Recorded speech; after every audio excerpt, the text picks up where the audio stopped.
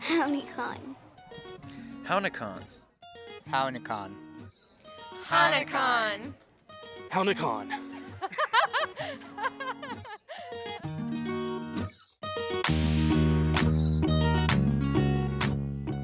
You're listening to Hownikan Podcast, highlighting Citizen Potawatomi Nation issues, members, and more. Please subscribe to us on your favorite podcast platform. Just search Hownikan Podcast. Thanks for tuning in. I'm your host, Paige Willett. Today's episode discusses the effects of Medicaid expansion on Citizen Potawatomi Nation Health Services, visits a crafting class at CPN's Cultural Heritage Center, and provides tips and tricks for credit scores for National Credit Education Month. On June 30th, 2020, Oklahoma voters approved the Oklahoma Medicaid Expansion Initiative, becoming the 37th state to make state health care coverage available to those at or below 133% of the federal poverty line, approximately 200,000 adults between 19 and 64. Citizen Potawatomi Nation Health Services has seen the total number of patients enrolled in Medicaid per month increase from 300 prior to coverage taking effect on July 1st, 2021 to 1,200 in 2022, and the numbers continue to grow. Communications Coordinator Mary Leifer discusses the very close statewide vote for Medicaid expansion and some of the program's common misconceptions with CPNHS Affordable Care Act and Medicaid consultant Yvonne Myers, who has more than four decades of experience in public health. Why does expansion matter? Basically, when the Affordable Health Care Act was put into play, and they were looking to assure all of our populations could have access to affordable insurance. It's kind of the three legged stool, but one of the things was for individuals who had incomes less than 138% of the federal poverty level, they were supposed to be approved for Medicaid. They would just automatically be eligible to enroll in Medicaid at no cost to them. And then individuals in the higher income levels could seek insurance through the marketplace and have premium tax credits to offset those.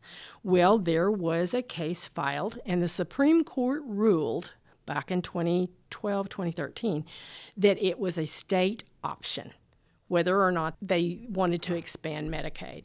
And at that time, basically, states could have expanded Medicaid and the feds would have paid 100% of the cost. And then you had so many years before you pick up like a 10% state match. So, I mean, uh-huh. basically, you're looking at t- it would cost the state maybe 10 cents on the dollar for their general population to do that.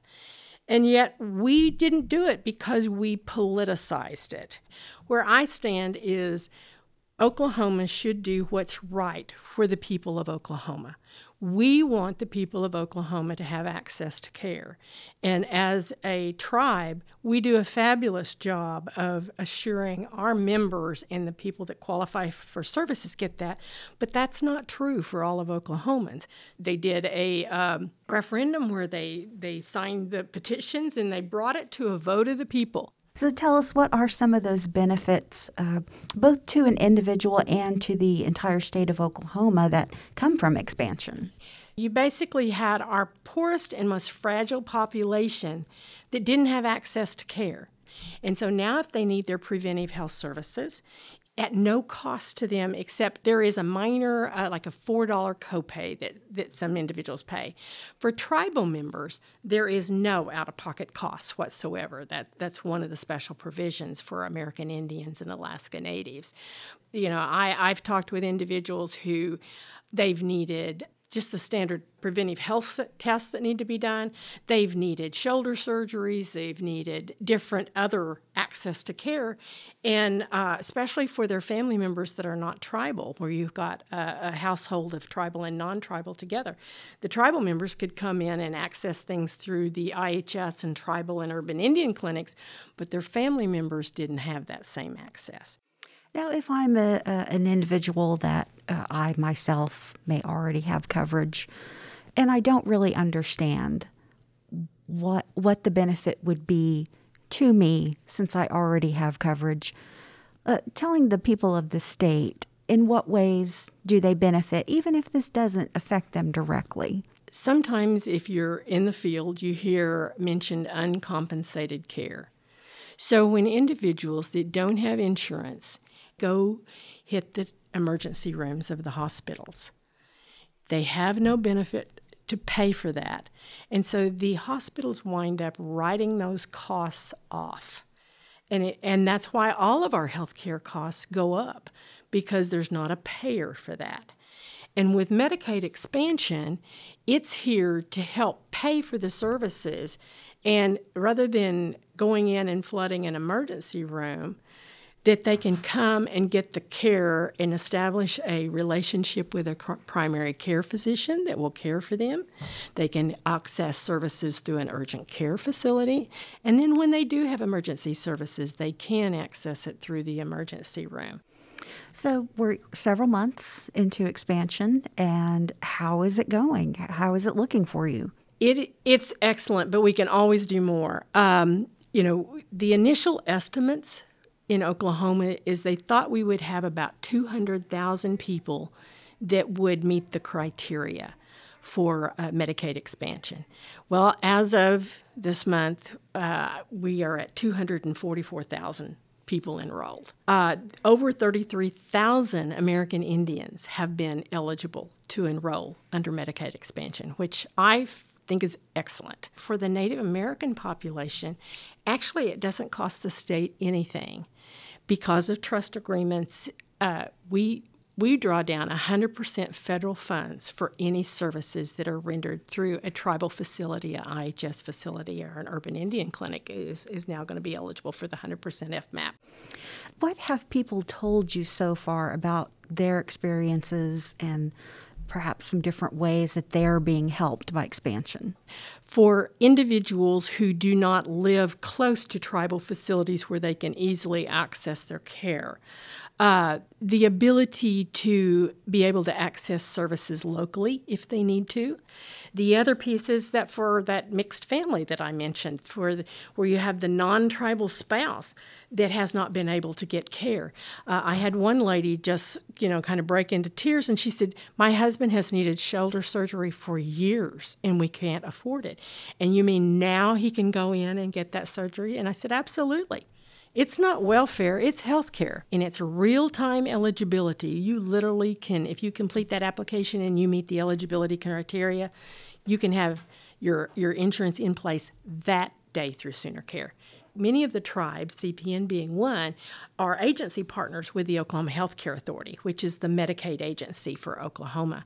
And we can do a real time application. Uh, our staff are well trained and and it's very easy for us to do one. So, uh, CPN Health Services, talk about the ways that they've been able to respond and maybe some of the ways that they prepared knowing that expansion was coming. We worked with the Healthcare Authority coming up with ways to maximize how enrollment could be done.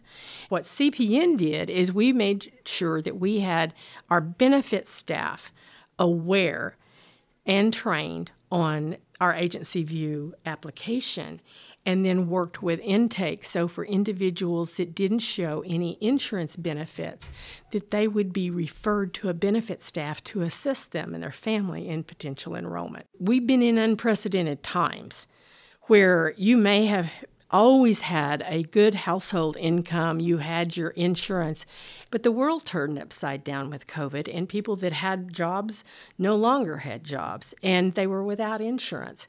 And so here's the opportunity. And so I basically say if you're unemployed, if your income has reduced, if you have no insurance, the most uh, important thing for you to do is reach out and see if you could be eligible. You know, what I hope is people listen and think, you know, I have a granddaughter I have a, a daughter, I have a mother, a father, I have a neighbor that this might benefit, and, and we stand ready to help them. Find more information about Medicaid expansion from the Oklahoma Healthcare Authority and apply for benefits at mysoonercare.org. Visit Citizen Potawatomi Nation Health Services online at cpn.news backslash health. Citizen Potawatomi Nation's Cultural Heritage Center offers art classes several times a month as a service to the greater surrounding Indigenous community. Led by Cultural Activities Coordinator and artist Leslie Deer, participants typically learn how to bead a piece of jewelry or create a piece of regalia. Oh. Does that make sense? Because typically you want to just kind of come up and go back through this hole right next to the one you already. Today we are making uh, hair pipe bandoliers, which these are uh, bandoliers typically worn by men um, as part of their uh, regalia in the arena. And uh, these bandoliers we're making are two strands that uh, goes probably from one side, either your left side or your right side, across your chest, over your shoulder, down your backside, and meets up again where it started on, on your side at your hip. Participant and Choctaw Nation citizen Chriselle Baker enjoys native crafts and making new friends. She keeps up with the Heritage Center's classes online and always looks forward to a new challenge, including the bandolier. Honestly, I didn't know what it was, to tell you the truth, and so I was like, I want to learn something new. And so here I am. I got in the class. Ponca and Muscogee Creek tribal member Jill Premu Hunter plans to give her bandolier to a new dancer as part of his first set of regalia. She chose red and yellow beads to represent and honor the element of fire. Hunter knew the significance of bandoliers before the class. Traditionally, these were um, these represent the the bullet casings that they used for veterans, and so they're us- originally it was just veterans that used these to dance with. But now al- almost all the dancers use them, whether they are or not. It just kind of has evolved into that. But that's what I was told by my my dad was that they were for uh, veterans, and that's what that represented as part of their warrior, you know, wear for. I use them for straight dancers mostly, and I think that's mostly who wears them. CPN tribal member Charles Scott also attended, sitting next to CPN District 12 legislator Paul Schmidlkofer. Scott began taking classes a few years ago as an opportunity to make regalia pieces at no cost. While he gives away many of his completed pieces as well, he wants to keep his first bandolier. Scott picked red and purple to go with his ribbon shirt for the dance arena. I mean, if you know, if you go to the store and buy it, it's really not special to me. So if you make it, then it's special. Uh, I've met people down here who've made me stuff. You know, my ribbon shirt, for example, it was made for me. So the the more you come down and the more we do this culture stuff, the more other people come down and use it. Does that make sense? The process of beading and crafting includes making mistakes, and Schmidlkofer is no stranger to taking apart and redoing sections of his work.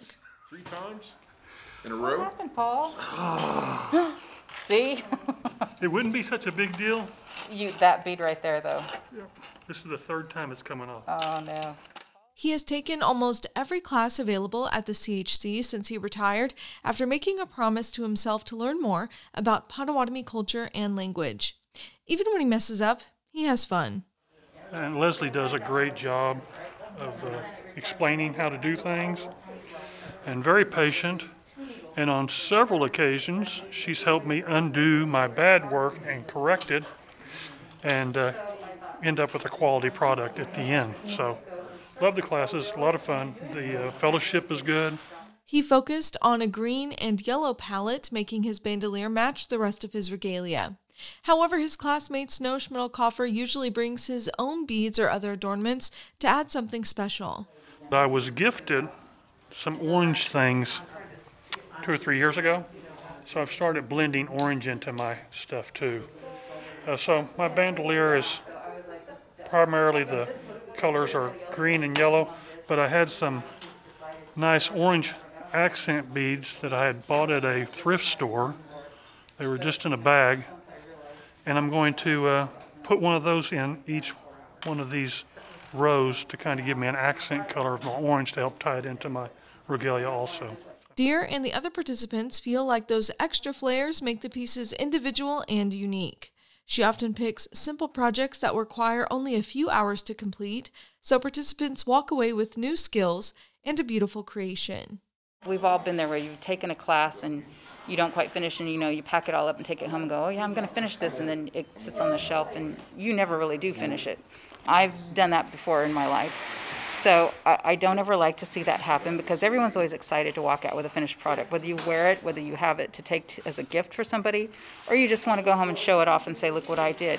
When it comes to beading and crafts, Baker has mostly taught herself. She takes classes like those at the CHC and attends beading groups in her community. She makes jewelry for her daughters and teaches them how to bead as well. Baker believes the importance of art shows itself every day. Because it's part of our heritage and we need to keep it. Nobody else is going to teach us.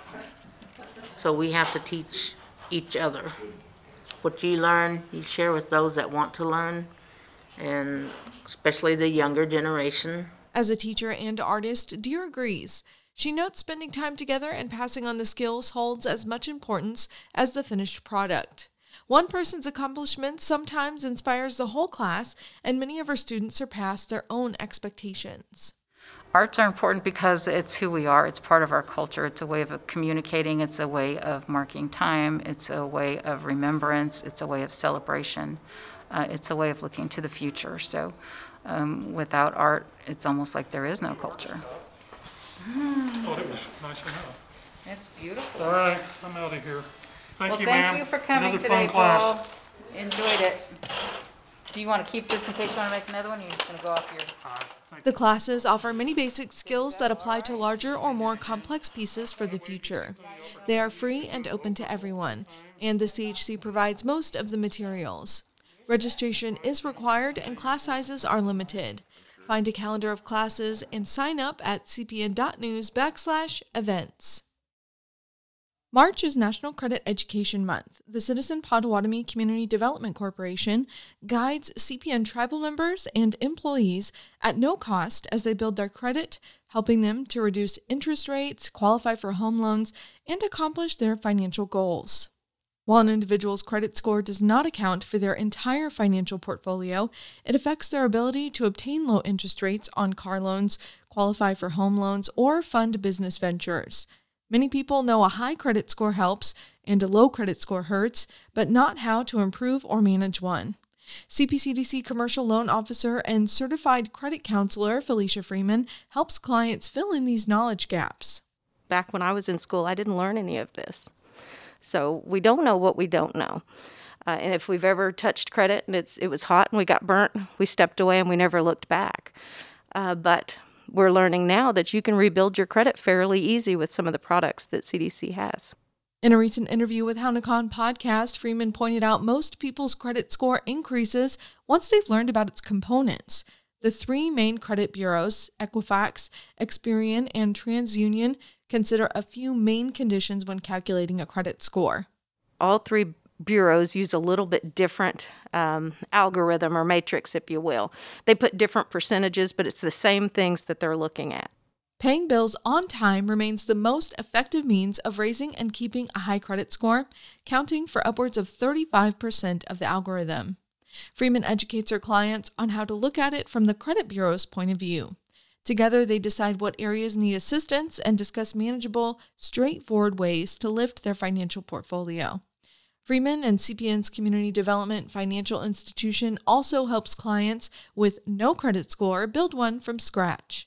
In the beginning, when people have no credit or they've lost their job, gotten divorced, maybe even been ill, uh, and things were let go, you know, eight years ago, the first thing I tell them to do is let's get some good stuff going.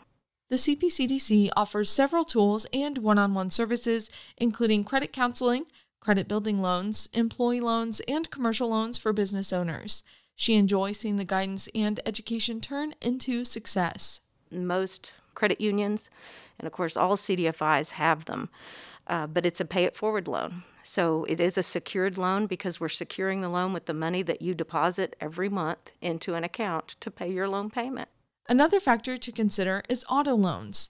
The CPCDC began the Jumpstart Auto Loan Program for tribal employees in 2010 to help alleviate those pressures, offer better loan terms, and build credit from a car payment instead. You have to have a car to get back and forth to work. And that's exactly why the CDC started the auto program was there were so many employees that were getting taken by these buy here, pay here places that typically don't report your good payment history. The CPCDC also assists CPN tribal members on the path toward home ownership. Freeman emphasizes that it is more attainable than many people think. As one of the most memorable success stories in her 15 years, Freeman remembers helping someone take out a home loan after a divorce and a decade of renting. Never underestimate uh, your credit and what you can do to make it work for you. The CPCDC and Freeman assist Native American entrepreneurs fund their business ventures. Sometimes that means improving their credit in addition to counseling sessions with staff before applying for a loan. Whatever their needs, CPN's CDFI has options. I think we're all really hopeful people.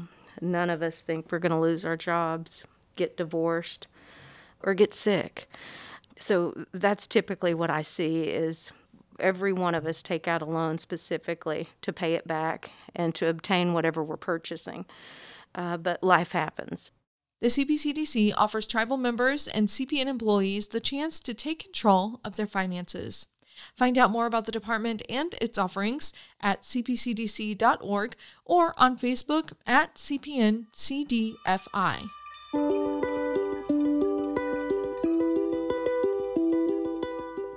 It's time for learning language when the CPN Language Department joins us to teach vocabulary, songs, stories, and more. In this segment, Department Director Justin Neely tells the story of how the porcupine got his quills.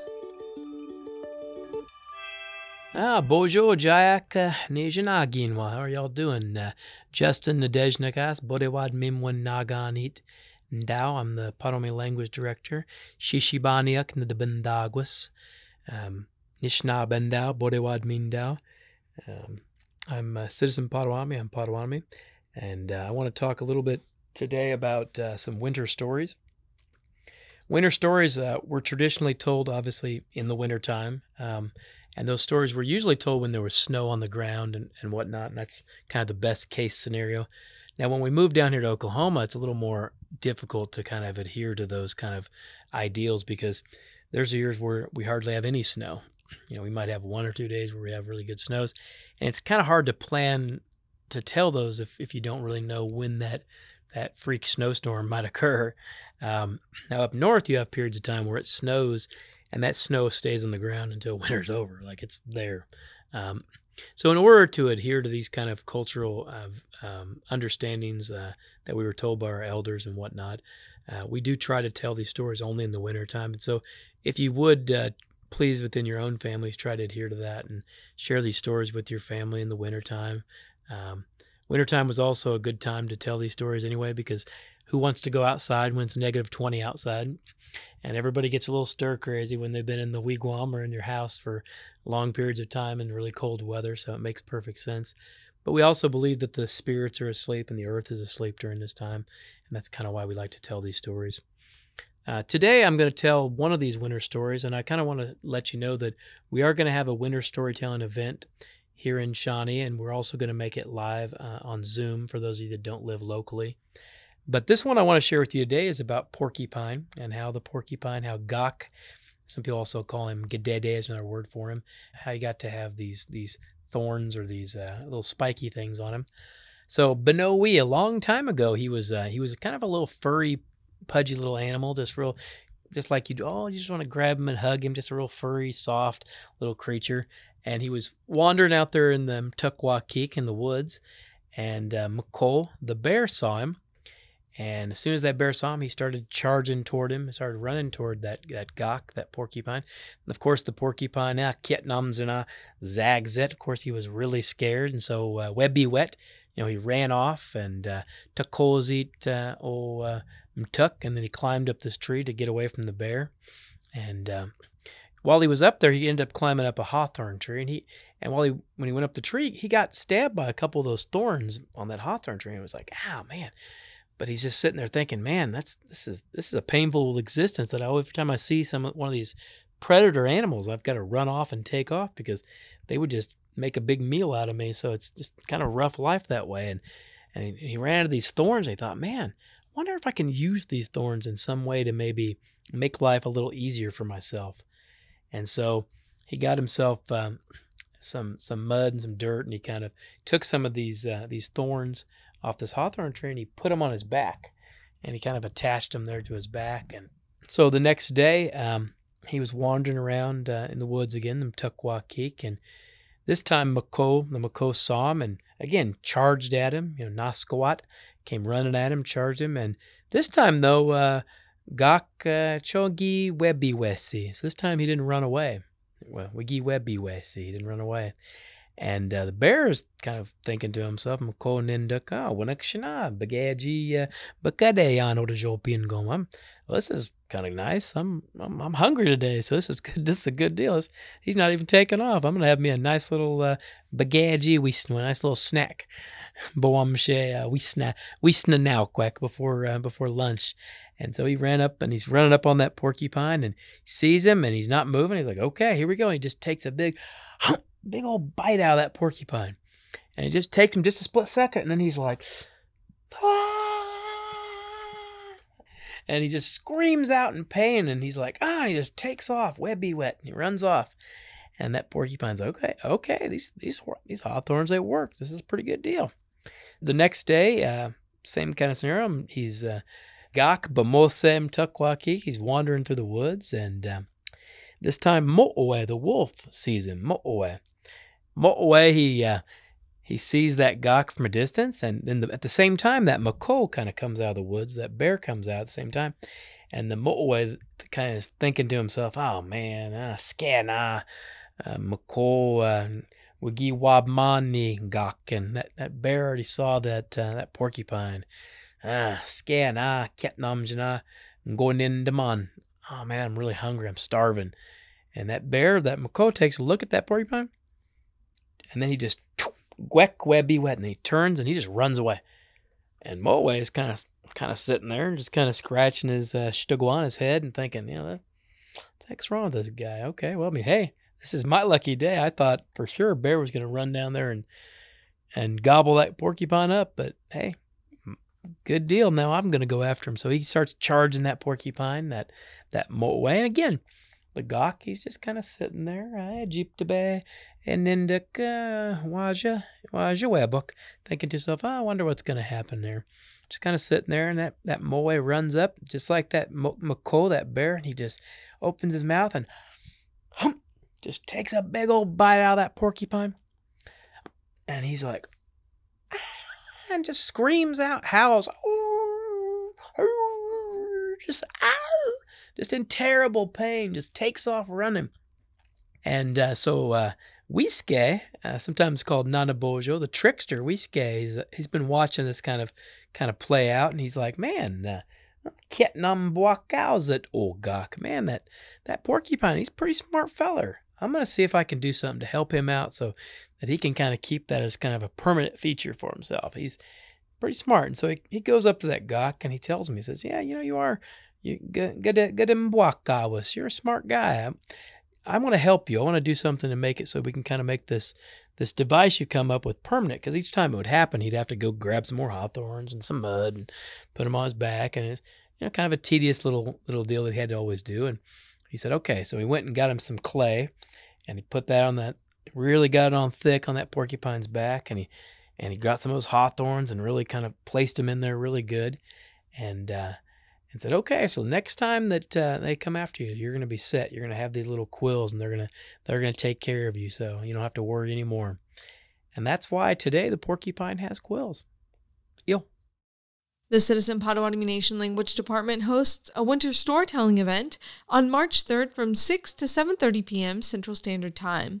It will be on Zoom as well as in person at CPN's Cultural Heritage Center. Find more information on the Potawatomi Language Facebook group.